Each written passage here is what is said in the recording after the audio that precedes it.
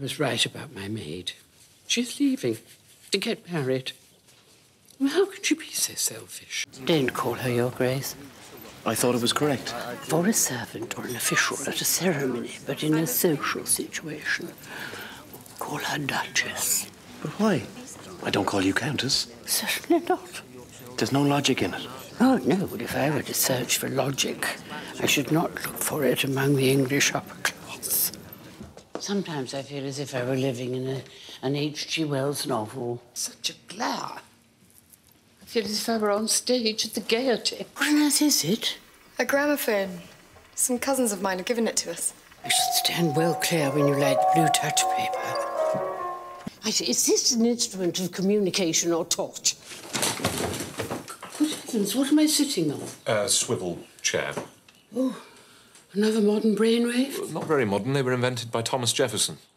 Why does every day involve a fight with an American? I'll fetch a different one. No, no, no, no. I'm a good sailor.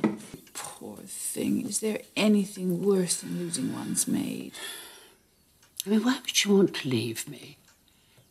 I've been as gentle as a lamb. Most of the time. You are quite wonderful the way you see room for improvement wherever you look.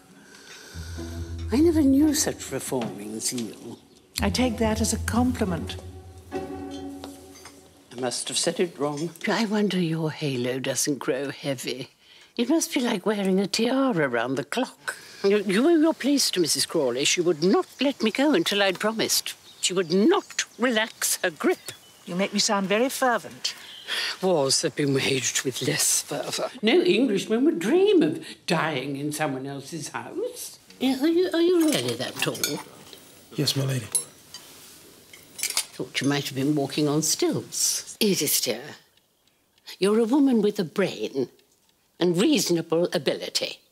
Stop whining and find something to do.